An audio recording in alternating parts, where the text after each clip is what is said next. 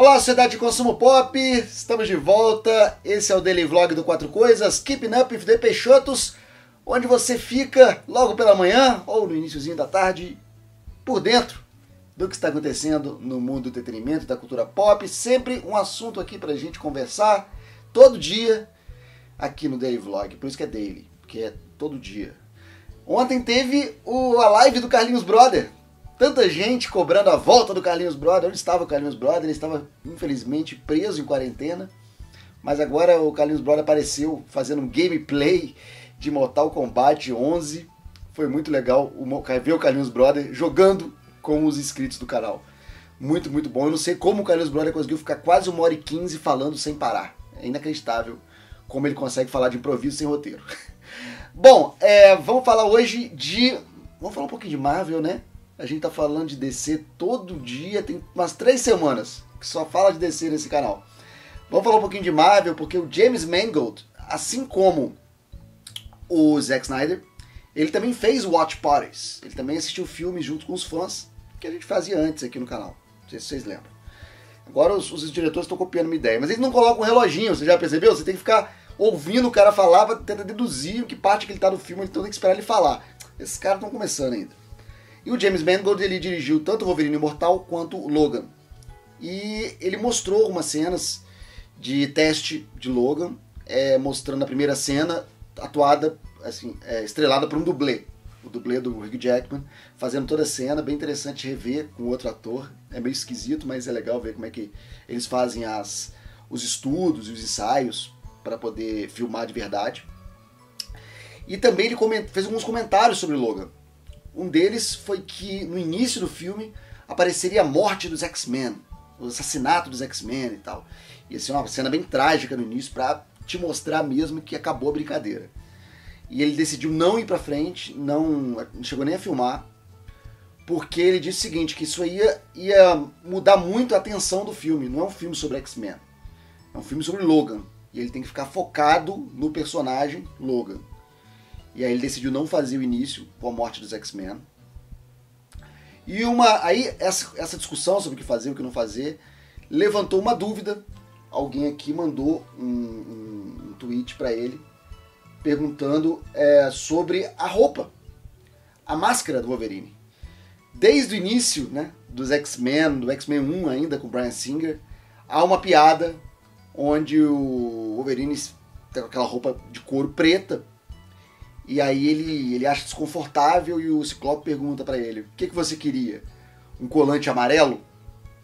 Então, desde o início já havia um desconforto e uma, uma recusa de assumir os uniformes multicoloridos dos X-Men. Isso aí pode ser explicado porque a fazer filme de super-heróis da virada do século não era essa moleza que é hoje, onde as pessoas já testaram, já viram que dá certo fazer um pouco mais de concessões às cores dos quadrinhos. Todo mundo só vestia preto. Era uniforme do super-herói versão cinema era sempre cor preto. E o, o Brian Singer, ele gosta, né, kink. E aí ele botou todos os X-Men em couro preto para ficar mais sério, que tinha que ficar sério, não podia ser filme de história em quadrinhos. Senão ia virar, sei lá, o Capitão América, sabe, dos anos 90, que é idêntico ao original e é, é horrível. Ou então o Quarteto Fantástico, que é idêntico ao original, mas blé. Então, para fazer um filme sério sobre personagens de história em quadrinhos, teria que todo mundo vestir preto. E foi assim que o Brian Singer topou fazer em primeiro lugar. Ele nem ia dirigir X-Men. Ele achava filme de super-herói uma bobagem, nunca ia dar certo, sempre teria é, prejuízo, como esses que eu citei.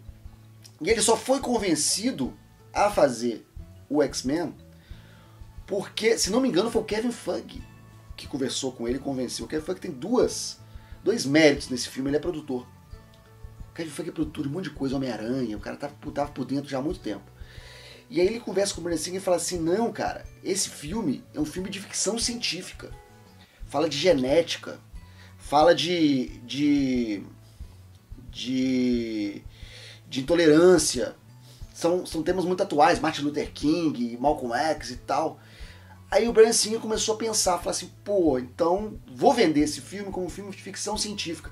E se você pegar entrevistas dele na época, você vai ver ele falando em todas as entrevistas. Não, não é um filme de história em quadrinho, é um filme de ficção científica. Ele precisou disso para poder convencer o público a assistir esse filme. Porque senão não iam assistir, porque iam achar que era mais uma bobagem para criança.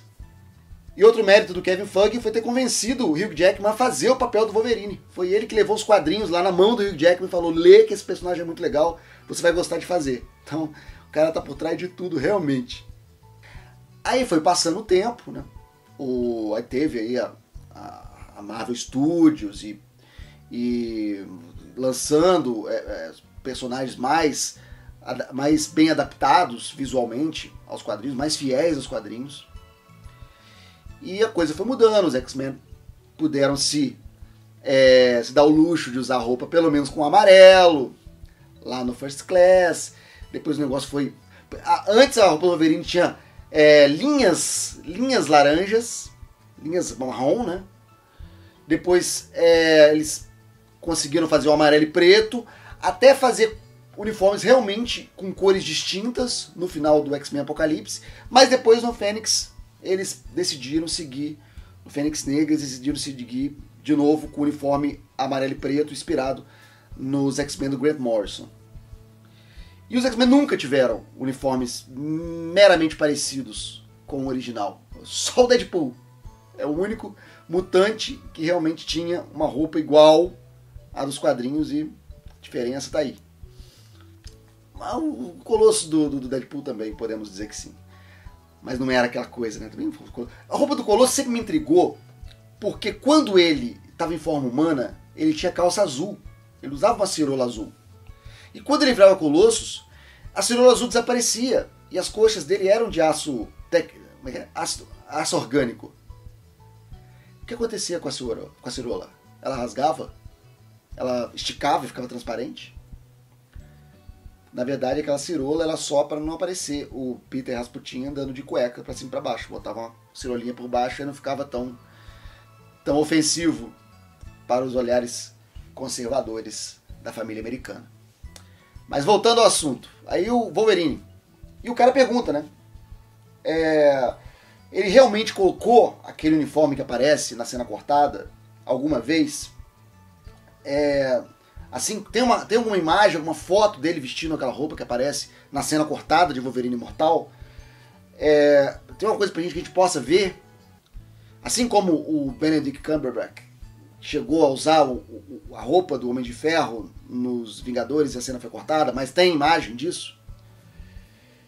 E ele fala: não, infelizmente a gente nunca, desculpa, a gente nunca colocou a roupa nele. É, nunca fizemos uma versão do uniforme.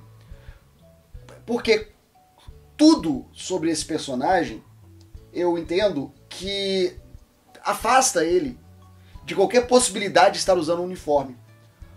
O nosso Logan não é, é não colocaria um uniforme jamais.